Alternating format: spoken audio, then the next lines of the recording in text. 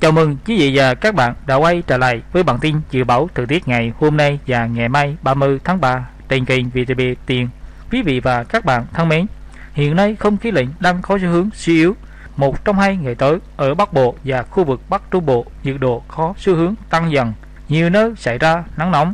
Dự báo đến cuối tuần này sẽ có thêm một đợt không khí lạnh mới có cường độ mạnh tràn xuống nước ta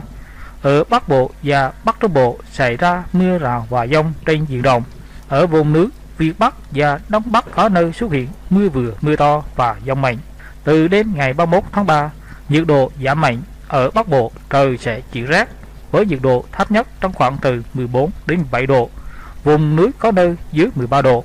Đối với khu vực Trung Bộ và Tây Nguyên, do ảnh hưởng của rãnh thấp có trục khoảng từ 5 đến 8 độ vị Bắc với hoàn lưu vùng áp thấp kết hợp với không khí lạnh tăng cường mạnh nên từ ngày 30 đến ngày 2 tháng 4 có mưa vừa, mưa to, có nơi mưa rất to kèm theo giông gió giật mạnh. Nguy cơ xảy ra lũ quét sạt lở đất tại khu vực vùng núi và ngập úng cục bộ tại các vùng trũng thấp ven sông.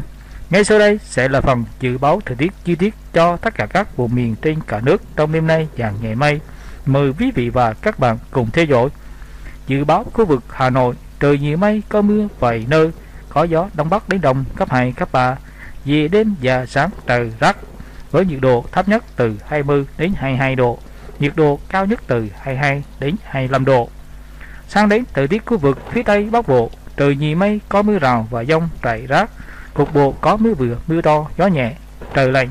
với nhiệt độ thấp nhất từ 18 đến 21 độ, có nơi dưới 16 độ. Nhiệt độ cao nhất từ 22 đến 25 độ, riêng khu tây bắc có nơi trên 26 độ. Sang đến thời tiết khu vực phía đông bắc bộ, trời nhiều mây, có mưa vài nơi. Riêng vùng núi, sáng có mưa rào rải rác và có nơi có dông. Gió đông bắc đến đông cấp 2 cấp 3 về đêm và sáng, trời rác với nhiệt độ thấp nhất từ 19 đến 22 độ. Vùng núi có nơi dưới 17 độ nhiệt độ cao nhất từ 22 đến 25 độ lưu xuống thời tiết khu vực từ Thanh Hóa trở vào cho đến thừa Thiên Huế trời nhiều mây có mưa vài nơi về đêm và sáng trời lạnh với nhiệt độ thấp nhất từ 19 đến 22 độ, nhiệt độ cao nhất từ 23 đến 26 độ, riêng phía Nam có nơi trên 27 độ. Lưu xuống thời tiết khu vực từ Đà Nẵng đến Bình Thuận, trời có mây, có mưa rào và dông vài nơi,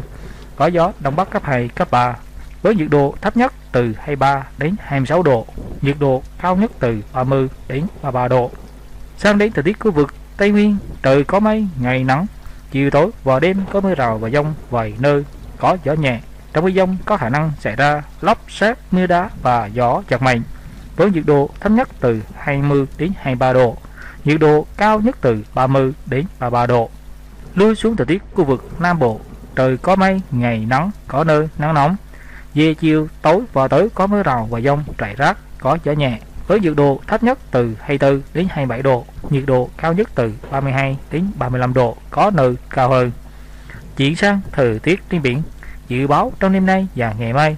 ở vịnh Bắc Bộ và vùng biển phía Bắc của khu vực Bắc Biển Đông bao gồm cả vùng biển phía Bắc quần đảo Hoàng Sa không mưa, có gió Đông Bắc đến Đông cấp 5. Ở vùng biển từ Bình Định đến Cà Mau, khu vực giữa và Nam Biển Đông bao gồm cả quần đảo Trường Sa do ảnh hưởng của rãnh áp thấp có trục ở khoảng 6 đến 9 độ vị Bắc với cùng với vùng áp thấp có xu hướng dịch chuyển về phía đất liền. Nên ngày và đêm nay, có mưa rào và dông, kèm theo dông gió giật mạnh. Cảnh báo cấp độ rủi ro thiên tai do gió giật trên biển là cấp 2